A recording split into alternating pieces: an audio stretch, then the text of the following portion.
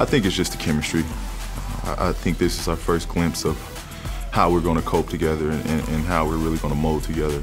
Um, so th these exhibition games are very useful in, you know, figuring out how we're going to play and how we're going to learn on the fly and, and how we're going to learn how to win games.